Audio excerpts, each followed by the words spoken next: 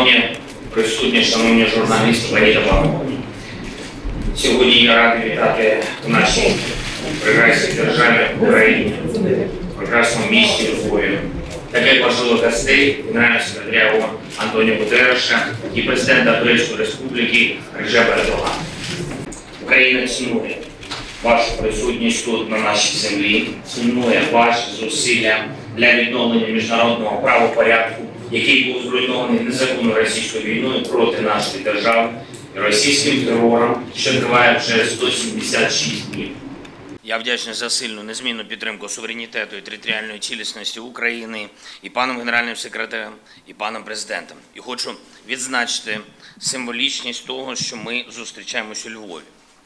Тут працювали і посилювали фундамент міжнародного правопорядку такі особистості, як Рафал Лемкін. Зокрема, саме він обґрунтував термін геноцид і ввів його у юридичну практику. Зі Львовом пов'язана ім'я Герша Лаутерпахта. Він був одним із найвагоміших спеціалістів з міжнародного права, суддею Міжнародного суду ООН. Він обґрунтував ідею кримінальної відповідальності вищих посадових осіб держави за злочини проти людяності. А дипломатичні студії Львівського університету, які були засновані у 1930 році, були першою у Центрально-Східній Європі професійною школою дипломатів з акцентом на співпраці зі Сходом та вивченні турецької мови.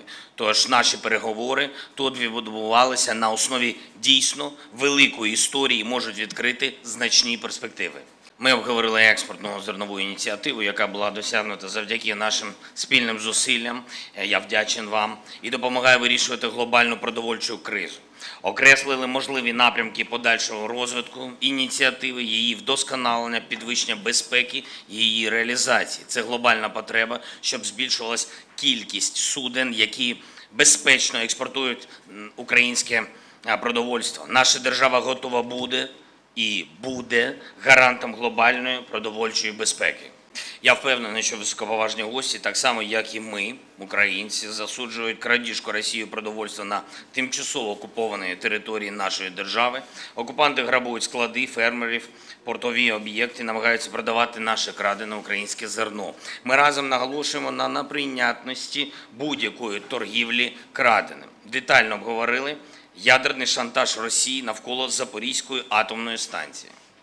Ядерна безпека це безумовний пріоритет для усіх в світі. Нові виклики Росія повинна негайно і без будь-яких умов вивести свої війська з території Запорізької атомної електростанції, припинити всі провокації, припинити безумовно всі обстріли. Неприпустимо, що Росія свідомо ставить усіх нас на межу радіаційної катастрофи світового масштабу. Погодили з паном генеральним секретарем параметри можливої місії МАГАТЕ на Запорізьку атомну станцію в легальний спосіб через вільну від окупантів територію.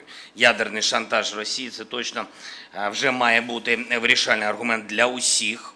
Усіх, хто ще сумнівався в тому, що Росія заслуговує на офіційне визнання державою терористом і відповідне політико-юридичне ставлення до неї.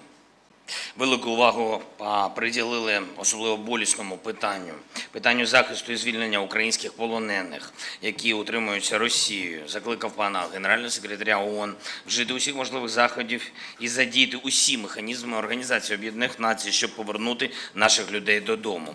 Погодились з паном генеральним секретарем щодо необхідності якнайшвидше направити місію зі встановлення фактів до Оленівки, де Росія скоїла один з найстрашніших терактів проти українців. Я підкреслю, усі міжнародні організації мають робити все для того, щоб отримати доступ до місць утримання громадян України. Зокрема, це стосується так званих фільтраційних таборів.